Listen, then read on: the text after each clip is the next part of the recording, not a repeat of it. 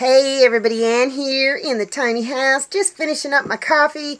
I got to go into town, but when I get back, I got some chores to do. I mean, not the stuff I've already done, chicken, rabbits, all that kind of stuff, but um, I need to mow and I need to plant more stuff.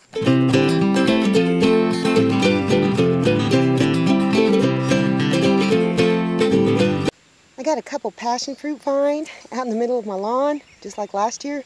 And there's no sense in mowing them down, so I'm going to go ahead and dig them up and transplant them since the puppies dug up all the other ones that I had transplanted last year. I ended up digging up four of them. I tried to get as much of the taproot as possible, and they're already starting to fade, so I'm going to go ahead and get them in the ground and then finish mowing. I got them planted. This was a twofer, actually a threefer because there's some wild violets down in there. They look kind of wilty, so I hope they survive. I don't, I know on this one I didn't do a good job, a good enough job at uh, digging it up. I got quite a bit of the taproot on this one, and then two smaller ones over here. I'm just going to cross my fingers that they will survive. I might put something in front of them. I don't think Papa will bother them, but still, I really, really, really want to grow these vines close to the tiny house because they're beautiful. The flowers are beautiful so, keep your fingers crossed.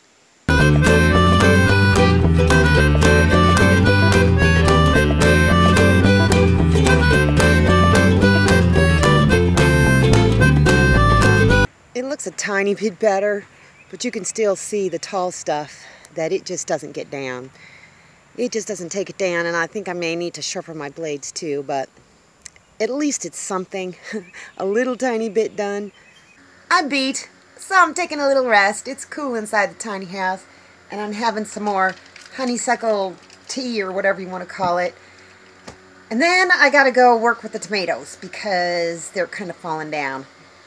This tomato right here is a cherry tomato. It was totally drooped over from the rain. And so I think I'm going to snip those two bottom leaves off so it can just start growing up this way. It's got blooms.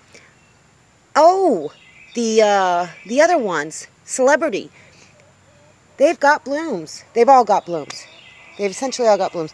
Anyhow, all I did for my little stake system, since I've got so many tomatoes and they're all over the place, um, with each of these stakes out towards the outside, I just put some twine down and stapled each side, tied it uh, just to make sure it couldn't just pull out and slip through. And it does keep it pretty steady. I did the same thing here, just two sides, stapled them, tied it, and uh, yeah, so that's that's what I did with all of these. And then all I'm going to do is um, this twine, it's cheap twine, I don't care. It's all I have right now um, that will work and be easy to work with.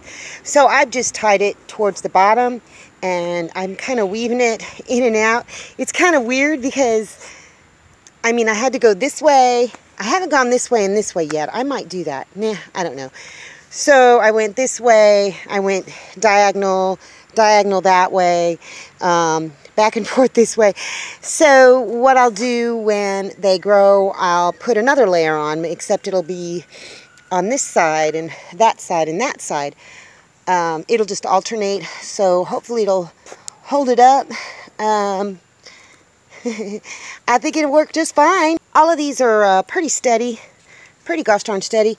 I couldn't tie this one off to the side, but this is way down in the ground, and um, it's a pretty big stick, so I think it'll be all right. So I'm trying to get the tomatoes to come kind of out a little bit, because you can see my beans are getting huge, and this squash needs some sunshine. Look at this one over here. Uh, this is patty pan it's getting kind of leggy. But uh, yeah, the beans, these are all bush beans. So the tomatoes need to grow up. I've already cut the bottoms of them. You can probably see uh, I've cut the bottoms quite a bit. Um, so yeah, that's what I'm doing. And I'm going to do the same thing for this one. I will probably only put stakes here, here, here, here, and here, and then do it that way. Um, but this zucchini is taking off. Oh my gosh. That's awesome. Mm, this one's still doing okay. You know, it's doing all right. But the corn is growing like crazy. I've thinned it out. Look at those peas. Can you guys believe those peas? Don't know. Maybe I'll get some peas. Maybe I won't. But I think tomorrow I'm going to go ahead and plant the beans in these three beds um, because I think the corn's tall enough. Um, yeah, I think tomorrow will be good to plant the beans and then just keep moving forward. Oh, look at, there's the sweet babies. Can you see them? They're on the little ledge there. They've been getting all over the place and Miss Beauty down here has been being sweet as ever to them. So, I think it's a match made. What the heck is... Oh my gosh, there's mushrooms. Oh, I don't have the energy to go back in there right now. I'm going to check on those mushrooms a little bit later and I'll get a better picture of the baby chickens that are just hopping around, even kickstand, doing just fine. It's hard to see through this mesh. My nose is runny because I'm hot and I've been working. It's okay, buddy. Oh, kickstand's already on the ground. Here's the baby chickens. They're doing great. Yep, kickstand does just fine. I wonder how many are hens and how many roosters. I need to get closer, closer shot. They are sweet chickens. Okay, kickstand is in, well, is the only one in the bowl now. He just gets in there. he can scratch around a little bit. See know, Miss Beauty, if she wants a bite to eat, she will just let one of the baby chickens know to get out of the way.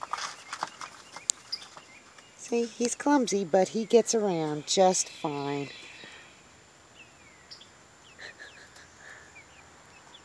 I know it's hard to see through this. I wonder. I wonder if that's a rooster. I gotta tell you, mowing that lawn kicked my behind. It did. So I'm going to keep this one kind of short. I don't want to waste your time with just useless dribble. Hey, Papa. What you doing, good boy? Oh, oh, he got in front. Anyhow, here, let me turn this camera around. Here's my good boy. He has been so good. When I let him out for his romp, he hardly even wants to leave my side. I just have to tell him, go, run. I have to walk out there with him. He likes to be around somebody. But then he takes off and he does his little run. And then when he comes back, I give him scratches like this. You're a good boy. You are. I'm glad I kept you. Yeah, I think I'm going to call this one here. So that's all I got for you guys today. See you in the next video.